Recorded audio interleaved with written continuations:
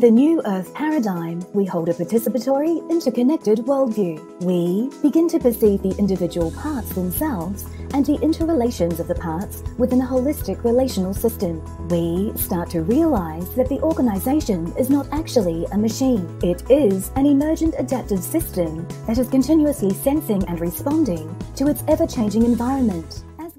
Welcome to Pure Element 5. My name's Suzanne, and today's epiphany came from realizing that design is a powerful tool to change the world. So why not design a future that works better for all of us instead of just some of us? As we perceive this living organization, we also begin to see that it thrives by enlivening all of its stakeholders and creating flourishing futures for all of life. Words have power, and in systems thinking, we use specific words that intentionally define a different set of actions to mainstream thinking. By the end of this video, you'll learn six systems thinking fundamentals. At a time when the entire world is up for reinvention, complexity, ambiguity, and uncertainty call for innovative systems of thinking, leadership, and design.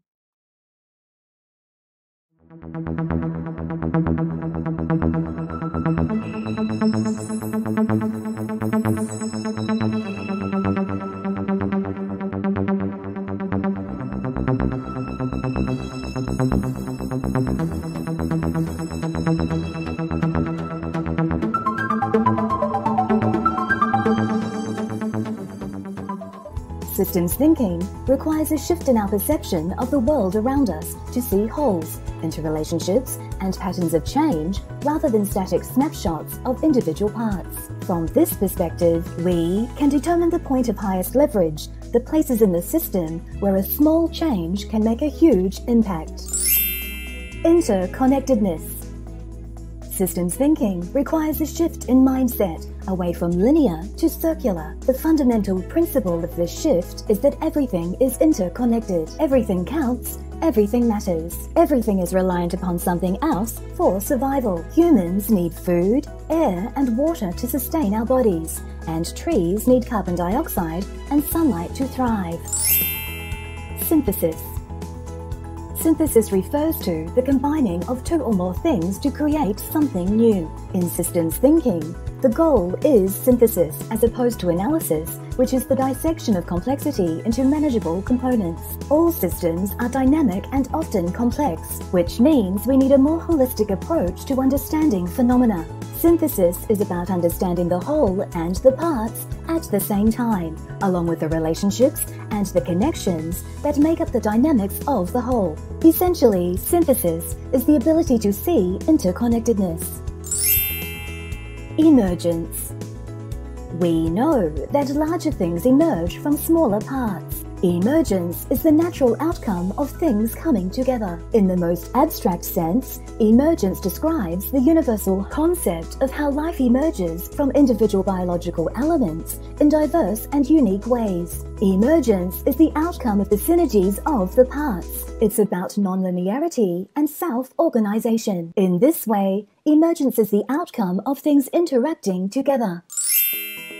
Feedback loops since everything is interconnected, there are constant feedback loops and flows between the elements of a system. We can observe, understand, and intervene in the feedback loops once we understand their type and dynamics. The two main types of feedback loops are reinforcing and balancing. Reinforcing within a feedback loop is not usually a good thing. This happens when elements in a system reinforce more of the same, such as algae growing exponentially in a pond. A balancing feedback feedback loop, however, is where elements within the system balance things out. Nature has this down to an art with the predator-prey situation. Causality Understanding feedback loops is about gaining perspective of causality, how one thing results in another thing in a dynamic and constantly evolving system. All systems are dynamic and constantly changing in some way. This is the very essence of life. Causality in systems thinking is about cause and effect. It's being able to decipher the way things influence each other in a system. Understanding causality leads to a deeper perspective on emergence, feedback loops, connections, and relationships, which are all fundamental parts of systems mapping. Systems mapping Systems mapping is one of the key tools of a systems thinker. There are many ways to map, from analog cluster mapping to complex digital feedback analysis. However, the fundamental principles and practices of systems mapping are universal. We identify and map the elements of things within a system to understand how they interconnect, relate, and act in the complex system. From here, unique insights and discoveries can be used to develop interventions, shifts, or policies that will dramatically change the system in the most effective way.